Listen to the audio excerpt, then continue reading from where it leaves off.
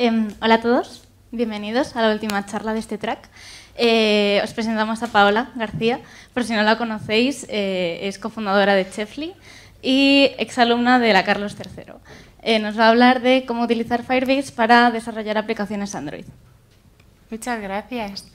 Pues hola, me hace muchísima ilusión estar aquí porque hace, estábamos comentando antes, como en 2010 o así, casi siete años, que estudié aquí Ingeniería Telemática y ayer volvíamos porque estuve en una mesa de, mujeres en tecnología y volvíamos Carlos y yo, que hemos tenido un bebé, y decíamos que diferente es volver a la universidad ya con un hijo, a dar una charla, era así como una perspectiva distinta.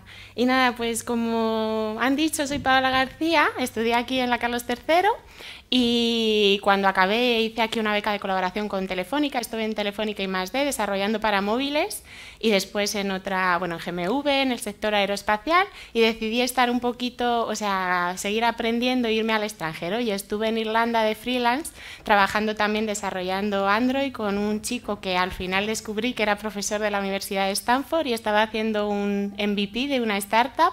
Yo en aquel entonces no sabía de emprendimiento y le hice la parte de Android y la verdad es que fue una experiencia genial.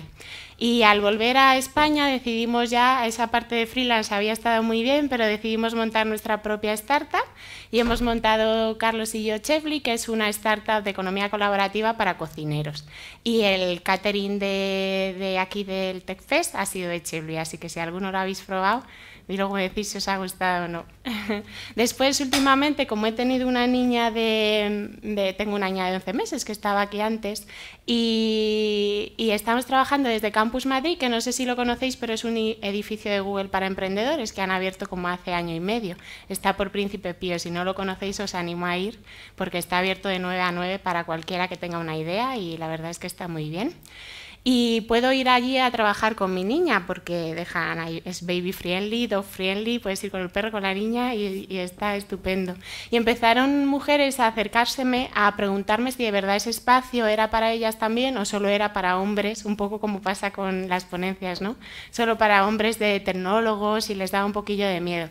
Y entonces a raíz de ahí he montado un grupo para mujeres en campus para darle la bienvenida y que sea un poco la mano amiga que les explique cómo va todo. Y de ahí, bueno, pues me he metido en otros programas también de Google. Y después de esta introducción que me gusta siempre presentarme, os quiero contar un poco por qué estamos hoy aquí.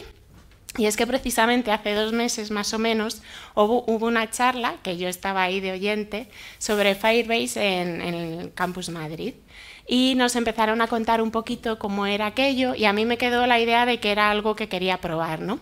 Y entonces llegué a casa y hay un curso de Udacity que lo he puesto al final, que es eh, Firebase más Android en un fin de semana, se hace justo una aplicación de chat. Entonces empecé en mi canal de YouTube a hacer vídeos en directo, eh, según iba aprendiendo yo, pues lo iba retransmitiendo en directo. Y al final nos juntamos una serie de desarrolladores también, eh, promovido un poquillo y orientados por el GDG de Madrid, los grupos de desarrolladores de Google, hicimos una iniciativa que se llama Navidad con Firebase. No sé si alguno de aquí la habéis escuchado, ¿sí? Pues Carlos, que está en el vídeo, eh, hizo Firebase con React, eh, lo hizo con Polymer y Gloria también le ayudó. Y Jeff, que está en Barcelona, que es un ingeniero de Wallapop, lo hizo con Angular. Y yo hice la parte de Android. Y lo cuento un poquito porque para que veáis las cosas, ¿no? Hace dos meses estaba yo aprendiendo y al final haciendo cosas, yo siempre digo que cuando haces cosas pasan cosas. Pues compartiendo con los demás, al final vas uniendo puntos y salen cosas interesantes. Esta era la aplicación por si la queréis buscar en el Google Play, porque vamos a ver ahora un poquillo de código de ella. Y básicamente era un chat, pero quien te contestaba era un pequeño bot eh, muy simple y era un paje real, ¿no? el, el, rey mago, y te preguntaba sobre tu año de desarrollo. Esto es eh, lo, que hice yo de Android, que tiene la parte del login social que vamos a ver, luego un poquito cómo usar la base de datos de real time de Firebase y eso es una opción que me gustó mucho que tiene directamente implementado ya con el Google API Services para invitar a los amigos que mandarles la, aplicación a vuestros amigos. Ahí tenéis el enlace. Luego compartiré las transparencias. Y bueno, aquí ya para que, no sé si todos ya sabéis, habéis mirado un poquito de Firebase o es la primera vez que lo oís, más o menos, ¿no? Pues para que lo veamos todos juntos, yo ahora que tengo la mente un poco en el emprendimiento, analizo un montón las webs. Antes me metía y simplemente iba al link que me interesaba y ya está. Pero ahora sé que cada parte, cada apartado, eh, ¿lo veis?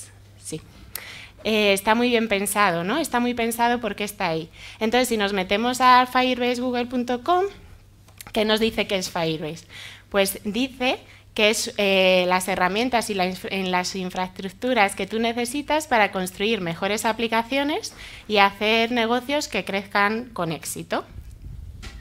Hay aquí que destaca en negrita también que, te mueva rápido. ¿no? Yo destaco esto de Firebase porque creo que es para hacer prototipado, hacer cositas rápidas que quieres probar y que esta parte de Firebase te soluciona bastante el no tener que estar ahí mucho tiempo picando código.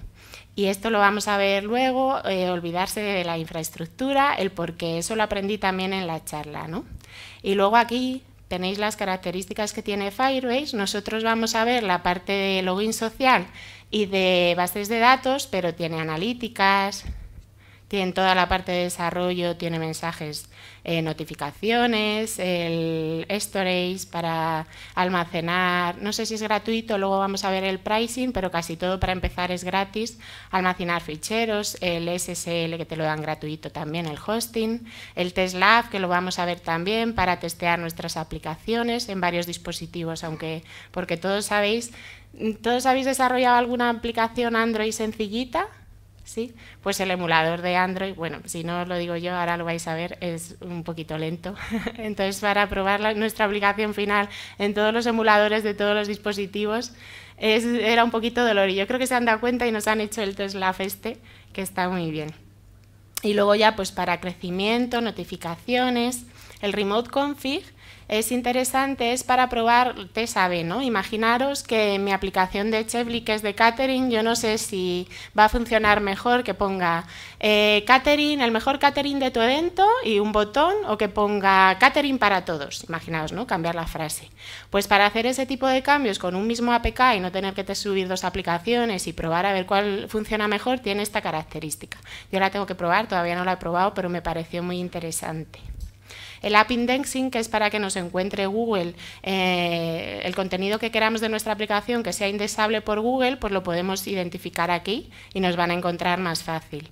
Y los links dinámicos, que es para poder llevar al usuario a una parte concreta de nuestra aplicación, no ponerle eh, simplemente el enlace que se lo descargue y abre, abra la pantalla de bienvenida y todo eso, sino que, por ejemplo, si yo en Chefly les quiero llevar a un catering concreto, lo podría hacer con esto invitaciones, que es lo que os enseñaba antes, y AdWords y AdMob, pues para Publi. Pues eso es un poquito la, ¿no? ¿Qué es Firebase? Y como os decía, todos habéis hecho una aplicación Android básica, porque esto es Android más, más Firebase, ¿no? Si no, pues simplemente en el Android Studio, bueno, aquí ya tengo la aplicación eh, abierta, pero tenéis una plantilla, aquí le daríais empezar nuevo proyecto, y, abriríais una aplicación muy sencillita, casi os la hace sola el Android Studio de Android, ¿no? Y esto es interesante, que por eso me metí yo luego a, a ver un poquito más que, mm, que era esto de Firebase, porque contaron que habían hecho un estudio, claro, Google se queda un 30%, creo, sí, creo que es el 30%, de todas las ganancias que tú saques del Google Play. Entonces lo que identificaron, esto es del 2014, pero creo que no ha cambiado mucho, no sé si lo veis mucho, eh, muy bien, pero pone que el 64% de los desarrolladores Android está por debajo de la línea de la pobreza. O sea, con las aplicaciones que suben no les da para vivir. De hecho, toda esta línea roja de aquí, en iOS es un poquito menos, el 49% creo que pone gana al mes menos de 100 dólares con su aplicación. Eh, luego el 15 entre 100 y 500 y un poquito ya 505.000 que no les va mal, el 20%, el 10% entre 5.000 y 25.000 que está muy bien y el 6% entre, o sea, más de 25.000. Entonces, eh, lo que pensaron o hicieron un análisis de esta gente que ganaba más de 25.000, que era lo que tenía, que les hacía especiales para ganar más dinero que los demás con sus aplicaciones y se dieron cuenta de que sabían, aparte de toda la parte de Android y de clientes, sabían mucho infraestructura, de toda la parte del backend, de todo esto que hemos visto de estas características. Entonces dijeron, bueno, la gente no puede saber de todo, no podemos ser eh, desarrolladores Android y tener un amplísimo conocimiento de todo lo demás, vamos a hacerles una plataforma para facilitarles todo eso ¿no? y que puedan hacer aplicaciones más exitosas y por eso nació Firebase.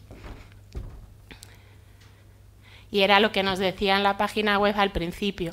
Olvidaros de la infraestructura, ¿no? que es lo que te hace... Todo lo que vamos a ver lo podíamos hacer con Android sin más, sin usar Firebase para nada, pero es para ayudarnos a implementarlo más fácil y más rápido.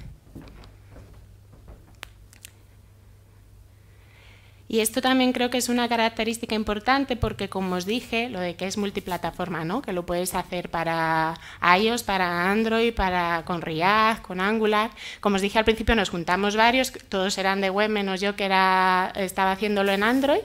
Y yo, por ejemplo, ahora lo vais a ver, eh, bueno, no sé si sabéis cómo funcionaba, nos juntamos y dijimos, venga, vamos a hacer entregables en vídeo en YouTube, cada uno en su canal subía los vídeos de partes, ¿no? El login social, luego la base de datos, luego el hosting y yo le añadí el Tesla.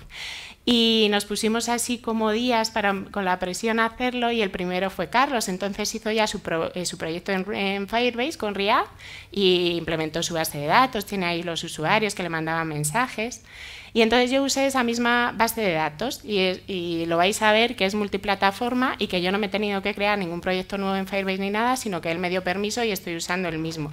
En equipos grandes para empresas y demás que estéis haciendo, pues por ejemplo Chevly en web y Chevly en móvil, pues viene muy bien también para hacer pruebas rápidas. Y ya una vez más o menos visto por qué eh, es interesante usar Firebase, vamos a ver, pues ya tenemos nuestra aplicación Android como toda la vida y qué tenemos que hacer para usar Firebase con ella.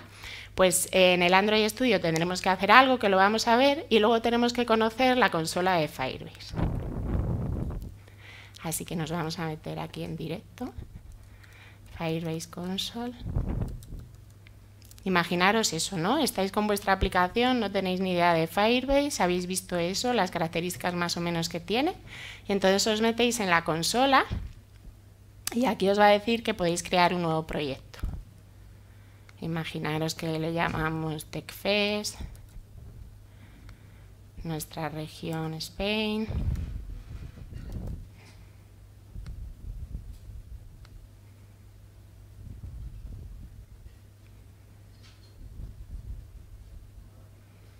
Y tarda un poco. y encima luego no vamos a usar esto de crear nuevo proyecto, pero bueno, para que lo veáis. vale, lo creo, lo creo. Entonces, una vez ya creado el proyecto, que está aquí, mi proyecto TechFest, aquí tenéis todas las características que hemos visto en la web, pues analíticas, ¿no? Por ejemplo, te dice que vale para Android iOS, autenticación, la base de datos, storage, y al principio de todo, aquí, nos decía, empieza aquí, ¿no? Vas a añadirle una aplicación a iOS, eh, Android o web. Pues nosotros nos vamos a Android y aquí pondríamos cómo se llame nuestro paquete de nuestra aplicación normal que tenemos en el Android Studio, ¿no? Por ejemplo, Paola García, así. Un apodo, TechFest, y aquí tenemos que poner la clave SHA del certificado que nos genera por primera vez el Android Studio cuando, hacemos, cuando ejecutamos una aplicación en debug, por ejemplo. Si no sabéis cómo, aquí le dais y os pone el comando para hacerlo con la consola, con el Keytool. Bueno, ya añadiríamos la aplicación. En mi caso, si nos vamos aquí a mis proyectos, tengo una, esta es la primera que hice como ahora mismo y al final no la usé por lo que, por lo que os cuento. ¿no? Tenía que usar la base de datos de, mi compañero Carlos y yo dije, pues a lo mejor se pueden enlazar las bases de datos, pero yo tengo mi proyecto creado por mí y ya está. Y no dejaba, tuve que usar directamente su proyecto que es este. Este es el proyecto que hizo Carlos y si veis aquí en autenticación, bueno, pues están todos los usuarios que se autenticaron, tanto en su aplicación, que si la queréis ver porque luego vamos a hacer una prueba también para que veáis que, que cambia en tiempo real. Esta es la web que hicimos en Navidad y aquí tenéis pues todos los vídeos que subimos a YouTube, los que subieron los compis y esta es la aplicación de Carlos. Y si os dais cuenta, yo me he logueado aquí en la de Carlos y todos estos mensajes que yo tengo aquí los tengo también en mi aplicación. La primera vez, bueno, cuando creé la, aplicación en Android y me logueé, ya me salieron todos estos mensajes, como estaba compartiendo la misma base de datos. Y, y era para que lo vierais, ¿no? Estaba aquí en la consola, pues tenemos la autenticación, la base de datos, que también os quiero enseñar un poquito. Estos son los, mensajes del bot, más o menos identificando palabras, y estos son los mensajes de todos los usuarios que, que interactuaron. Luego está la parte del storage, hosting. Bueno, vamos a ir viendo, ¿no? Aquí podéis explorar muchísimo, la verdad. Yo todavía tengo que explorar un montón de, de características. Así que seguimos. Vale, pues entonces, ¿creéis un proyecto nuevo en la consola? O hagáis como yo, que tengo este mismo, si os vais aquí a nuestro proyecto Android, porque yo añadí aquí otra aplicación a este proyecto, y es básicamente como lo del principio, pero añadiendo una a un proyecto ya existente.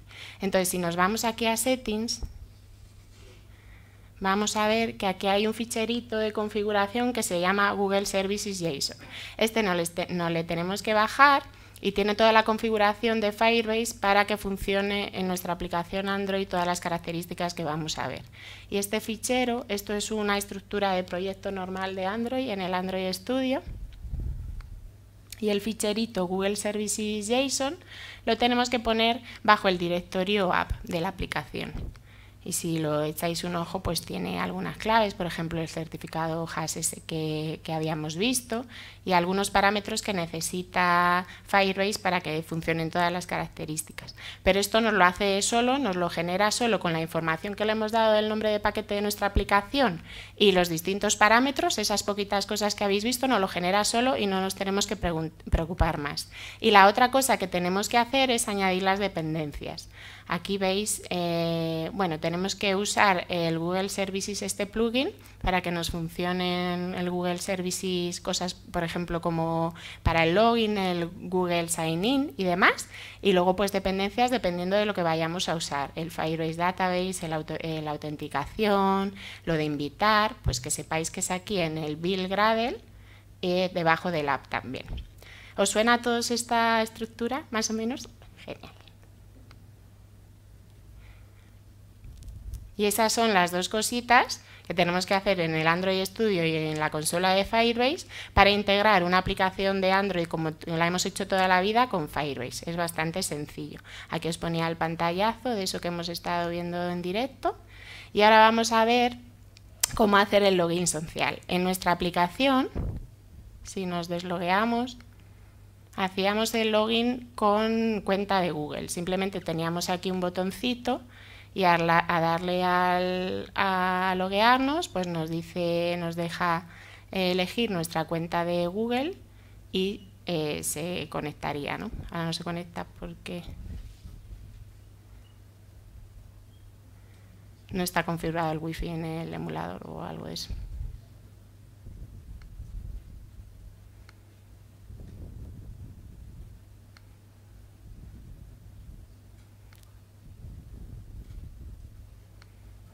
Ese Friendly Chat, que ya aprovecho también para deciroslo, porque para hacer esta aplicación de Navidad con Firebase, em, me metí en la documentación de Firebase aquí. Y hay un Code Lab que precisamente hace un chat Entonces, eh, aquí en este GitHub tenéis el código base para hacer el chat. El código que vamos a ver, y lo tengo subido a GitHub también, luego os pongo el enlace, viene de esta aplicación. Bueno, voy a mirar si lo puedo poner un momentillo y si no, pues no pasa nada, como ya lo habéis visto. simplemente se, elegía la, mm, la, mm, la cuenta de Google y se logueaba. Como habéis visto, sale la carita de tu cuenta y ya está. Bueno, vamos a seguir. Y luego si tengo tiempo lo, lo pongo. Entonces, el hacer ese login social en, en, Android, no sé si alguno ya habéis hecho con la cuenta de Google, el login, sin Firebase y sin nada, ¿no? Pues eh, sin Firebase lo podríamos hacer perfectamente en Android. Sería con el Google APIs for Android, el Google Signing.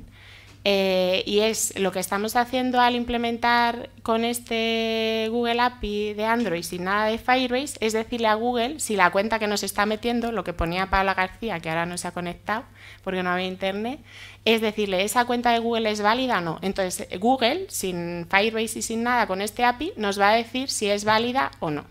Y lo que vamos a hacer después, una vez nos diga eso, es autenticarnos ya con Firebase si queremos para, por ejemplo, eh, gestionarlo eh, de manera, o sea, multiplataforma. Si yo me logueo en mi aplicación eh, y a loguearme en la de Carlos, y aquí en la consola voy a ver los usuarios, no se me duplican, sino que Firebase me los gestiona de manera ya automática. Por ejemplo, si busco mi email, aquí. Eh, lo creé el 5 de diciembre, que es cuando sacó Carlos la aplicación, y la última vez que me logué, dice que fue ayer, pero fue hoy. Entonces ya lo gestionas solo. Y ese es el último paso que vamos a hacer con, Firebase, pero que sepáis que el login social con Android se puede hacer sin Firebase también.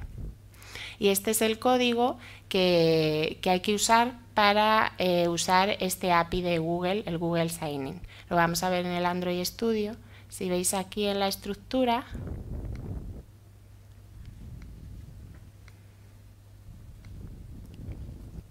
tenemos el Sign In Activity, que es donde vamos a gestionar todo lo del login. ¿Lo veis? No, no. ¿Sí? Voy a hacer un poquito más grande.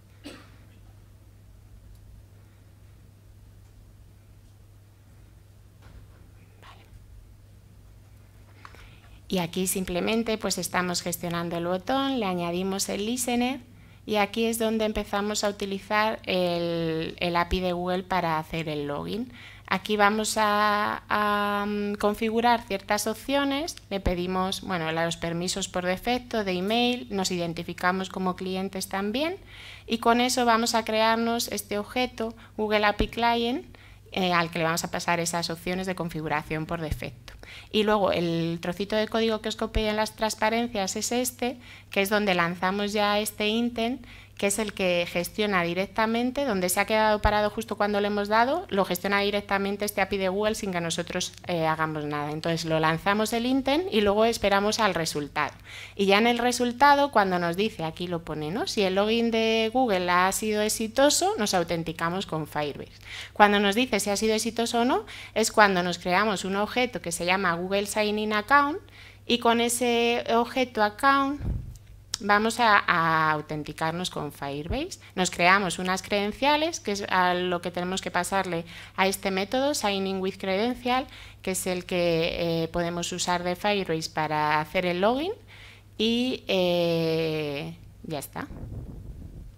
Si ha fallado, se lo decimos al usuario y si ha, ha, tenido éxito, lanzamos otra vez el Main Activity, que es el que estaba al principio con todos los mensajes de nuestro chat es a donde iría cuando se ha quedado ahí paradillo. Y es así de sencillo, con Google simplemente.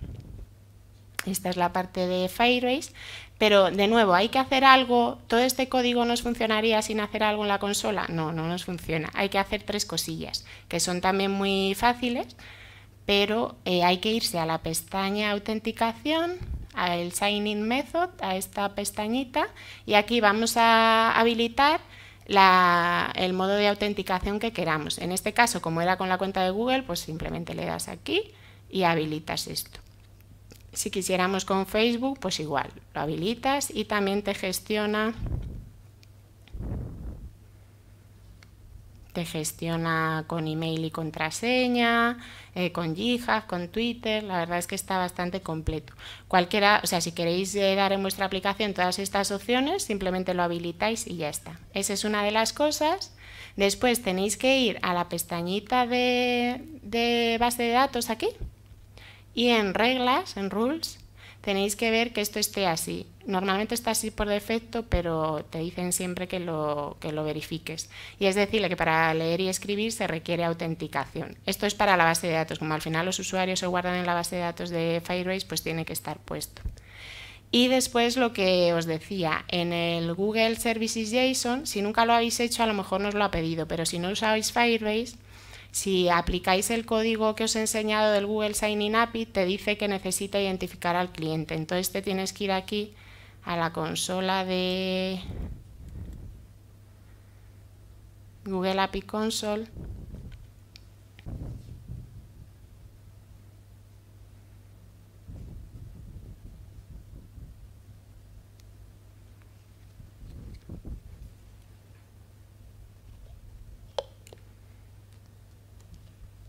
Bueno, ya hay una pestañita que pone credenciales aquí.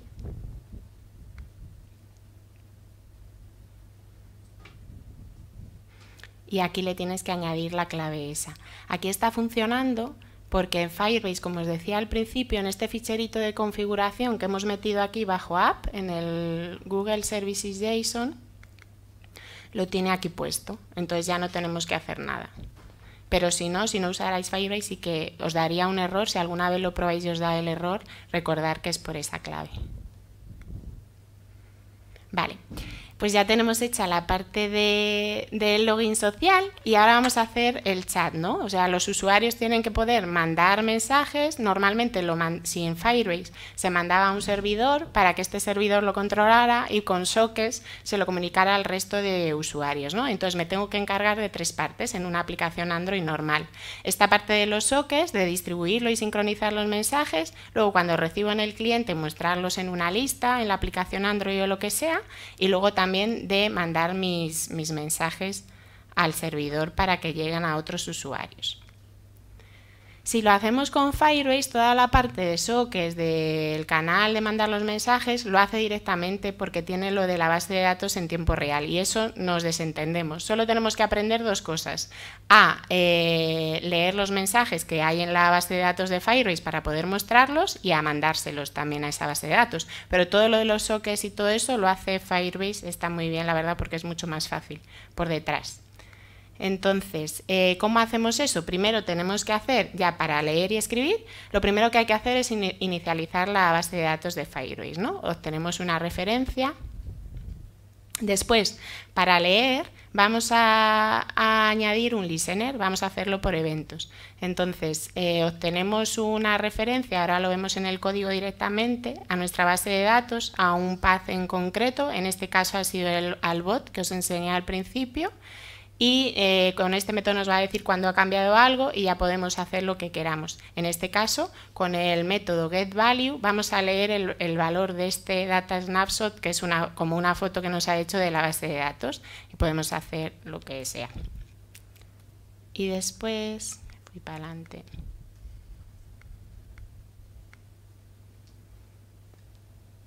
como os decía, el React Data eh, se puede hacer con GetValue o después una cosa muy interesante que hay es una librería que se han currado los de Firebase también, que se llama Firebase UI, y es como este tipo de, aplicaciones, al final todos los desarrolladores tenemos que gestionar en el cliente las mismas cosas, pues lo han hecho ellos. Entonces, si os vais aquí al GitHub a Firebase UI,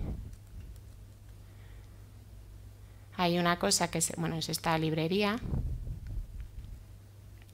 y el que en concreto que podemos usar y que usa la aplicación del CoLab es este que se llama Firebase Recycle Adapter, que es el adaptador, los que habéis desarrollado en Android, eh, eh, antes se hacían list views para mostrar en una lista y ahora han sacado una clase que se llama Recycle View, que gestiona mejor todo lo de las, la memoria con las listas que da problemas. Pues eh, además luego le tenías que pasar un adaptador para los datos y esta es la clase que ha hecho Firebase y que simplemente la tenemos que usar y ya no nos tenemos que picar ahí todo de los desarrolladores esto mismo.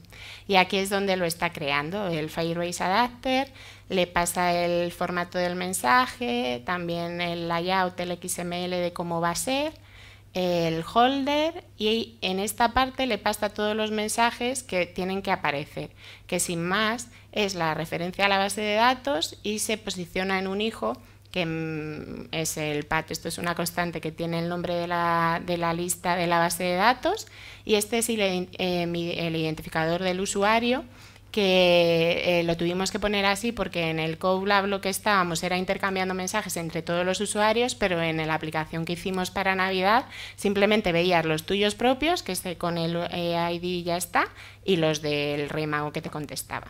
Y es así como se hace.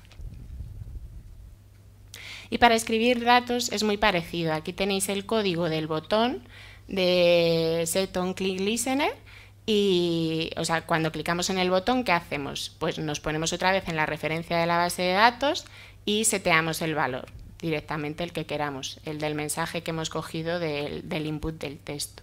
Os lo iba a enseñar en el, en el, código, pero veo que son y media ya, así que voy rapidito. La última parte que queda es la de cómo publicar la aplicación Android cuando la hemos hecho en, eh, con Firebase también. Eh, ¿Habéis publicado alguno en el Google Play alguna vez? Pues esto es igual, no hay que hacer nada mm, distinto, simplemente te vienes aquí al build y generar eh, un APK, que es el formato que tienen los paquetes de, de aplicaciones de Android, firmado. Aquí gestionamos con nuestra firma para que sepa la Google Play que va a ser nuestro y le damos a siguiente. Eso como en cualquier otra aplicación. La única, vamos, la única cosilla que tenemos que hacer en, Firebase, si se os olvida, y a mí se me olvidó y subí la beta así y nadie se podía loguear, era, eh, y me acordé, me acordé, es ir a la consola de Firebase que la tenemos aquí y os acordáis de lo que os había dicho del SHA, del certificado, de la clave de debug, pues ahora hay que poner la de, la de verdad, ¿no? de la, la de producción, la de release. Entonces, si nos vamos aquí a Overview, creo que es...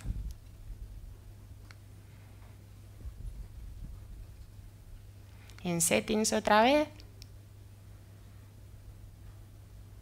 Veis aquí abajo que tengo dos claves ¿no? de certificado. Pues una es la de debug y otra es la de la de, producción. Y igual que antes, si no sabéis el, comando en concreto, os la verdad es que la documentación está muy bien porque te va guiando paso a paso. Aquí sería el nombre de la clave con la que firmas tu aplicación, tu APK y el pad donde está y te genera ese certificado. Lo copias en la consola y, y listo. Con eso ya se, se quita el error. Esto es lo mismo, ¿no? Y la última característica que es muy interesante también era lo que hablábamos al principio de probar en muchos dispositivos, que siempre los que habéis hecho aplicaciones Android, pues sabéis que como hay tantos, de tantos tamaños, de tantas resoluciones y eso es un infierno y al final en algunas siempre te viene un usuario y te dice se me ve fatal o no me funciona esto, entonces se han dado cuenta y en la página web de Firebase pone esto, que es una frase que me gusta mucho. Testea en este laboratorio que hemos preparado y no en tus usuarios. Entonces, si nos metemos aquí mismo en la consola otra vez, en la pestañita de TestLab, te dice ejecuta un test y dice que puedes ejecutar un robotest o un instrumentation test. Si le, le, das aquí te explica que en el robotest no tienes que haber hecho ningún test ni nada. Para la gente que esté empezando y todavía no haga test o no tengas tiempo para hacer test, pues este, esta opción me gusta mucho porque es una forma muy fácil de pasar como una batería de pruebas. Lo que te dejan es eh, hacer X pruebas al mes, que ahora vamos a ver lo del precio, pero para empezar te sobra en dispositivos físicos que tienen ellos conectados y, o en emuladores, pero en dispositivos físicos bastantes. Entonces lo vamos a hacer para que lo veáis. Aquí tenéis el APK que os ha salido firmado de antes. La tengo aquí.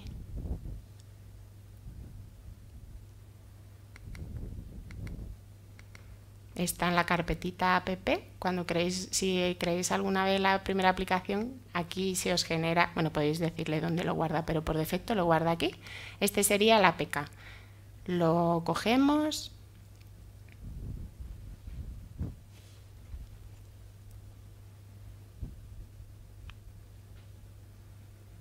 Y mientras lo hace en directo, os lo voy enseñando aquí. y os va a dejar elegir, ¿ves? Aquí te lo dice. Tienes eh, diariamente eh, cuota gratuitamente para probar en 5 dispositivos físicos y en 10 virtuales. Entonces te da una lista de todos los dispositivos, pues el Nexus 7, el Nexus 9 y aparte en las versiones de Android que lo quieres probar. También puedes elegir si quieres en, horizontal y en vertical, en Landscape y Portrait, el idioma, por si se os ha olvidado hacer algo de traducción o lo que sea, pues también lo podéis identificar y le podéis dar a, las distintas opciones y luego lo que tarda un ratillo, dos o tres minutos en ejecutar y eh, os da en la pestañita de logs, os lo enseño aquí luego si podemos verlo, que se verá mejor. Pero si no tenéis la pestañita de logs aquí, con los logs que cuando ha pasado la batería de prueba salen, los pantallazos de cómo se ve la aplicación en ese móvil, que ya no tenéis que ir probándolo a mano ni en el emulador en todos, os salen directamente.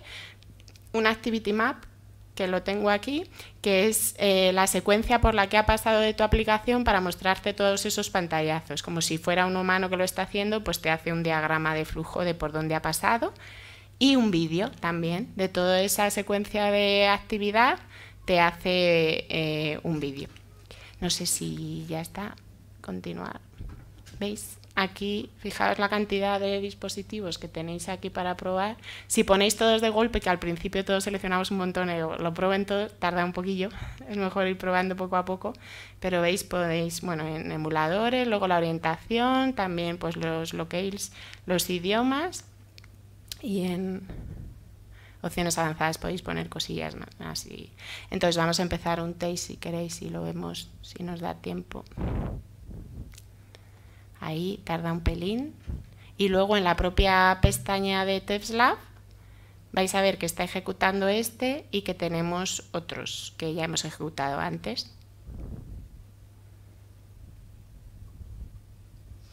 Lo que tardó te sale aquí, en este tardó 7 minutos. Claro, en este le puse inglés y como mi aplicación no está en inglés, pues no sale nada.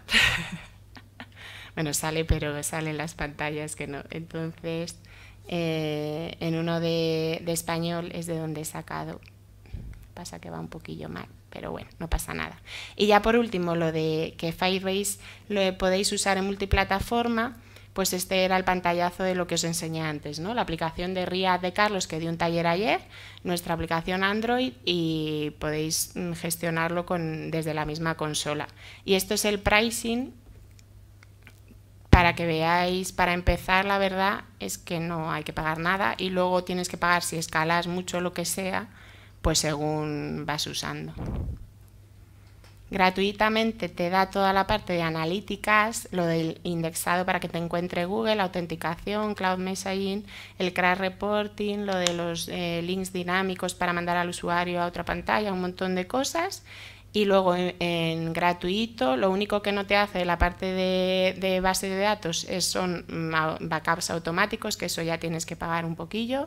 El storage, bueno, podéis echarle un ojo, casi todo es gratuito para empezar, desde luego. Y luego, si os ha gustado un poquillo, os ha gustado, os ha interesado y queréis seguir dando pasos, pues podéis ver los vídeos que estoy subiendo, que sigo haciendo en directo con el curso de Udacity según lo voy aprendiendo, o hacerlo vosotros por vuestra cuenta. Aquí está, cuando suba la presentación a GitHub, está todos los enlaces. Este es el curso de Udacity, que hacen esta misma aplicación de chat en una semana, pero van por todas las características, también le ponen notificaciones y todo eso, y el CodeLab que, que os dije la documentación de, de Firebase que podéis ir por plataforma, también si lo queréis probar para web.